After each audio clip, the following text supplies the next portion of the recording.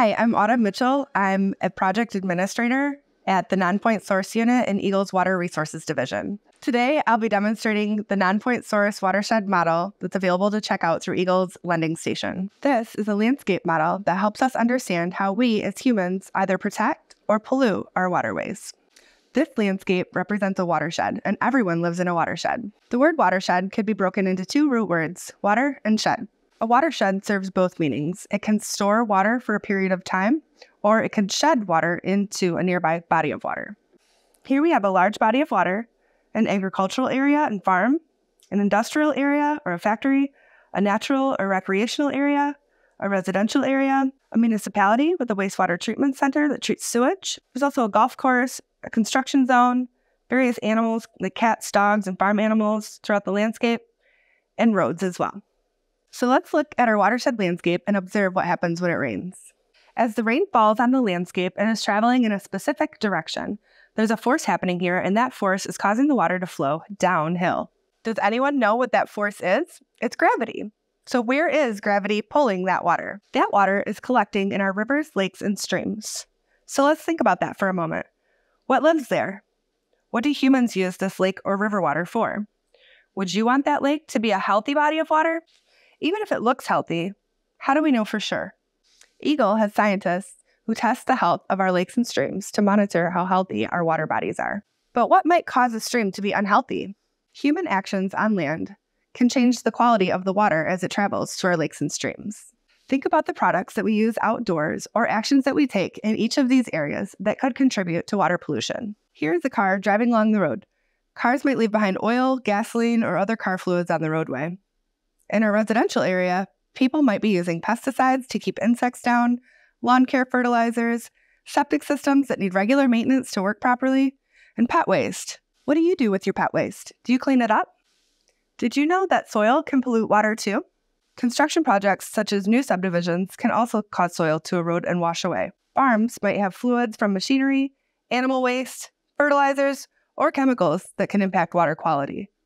Farmers also till and loosen the soil to promote crop growth, and this can cause additional soil erosion. The fact that humans use these products and take these actions on land isn't always bad. What makes it a problem is when pollution makes its way to the water. So, how does that happen? Remember, where does the water flow when it rains? What did you notice as it rained on our landscape?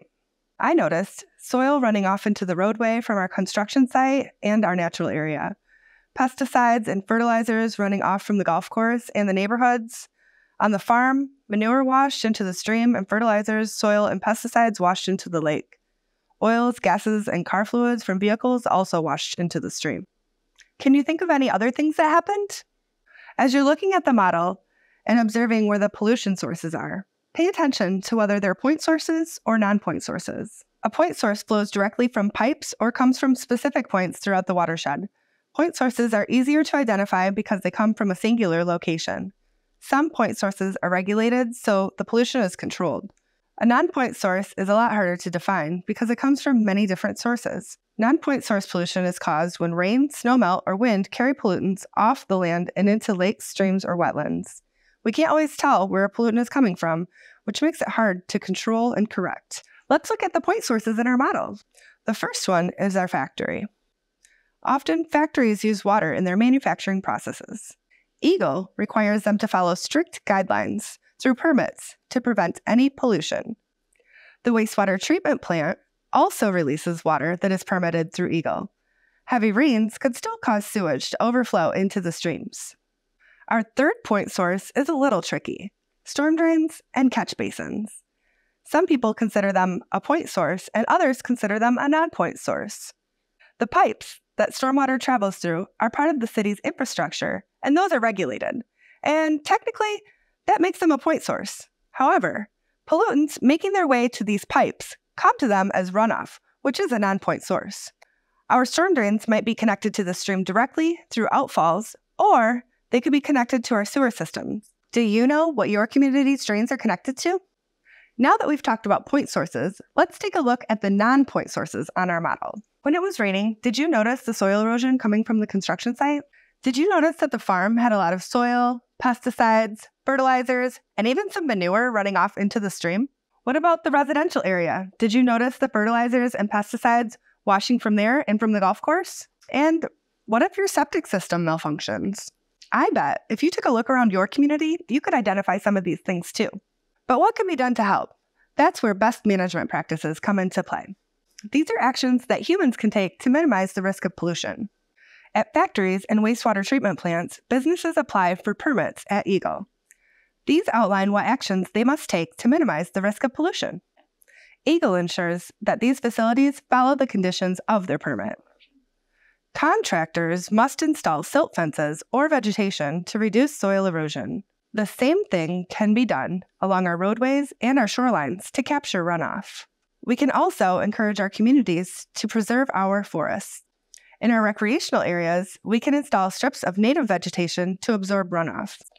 Now, there are many practices that farms can do to prevent non point source pollution. Farmers can install fencing to keep animals out of the stream. Manure should be contained in storage areas.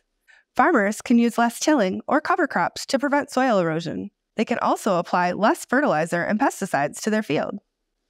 Farmers can also build a berm that can be used to protect runoff into our waterways.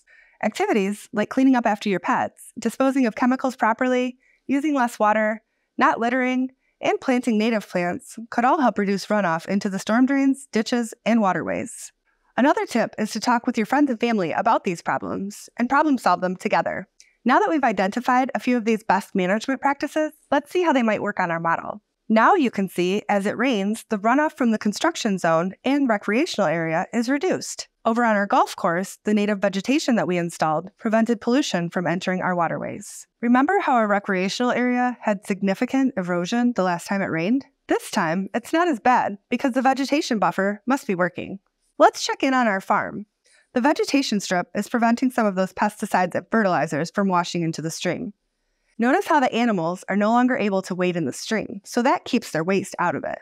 The farmer has also contained the manure properly. Finally, the oil on our roadway looks like it's being caught by the extra vegetation too.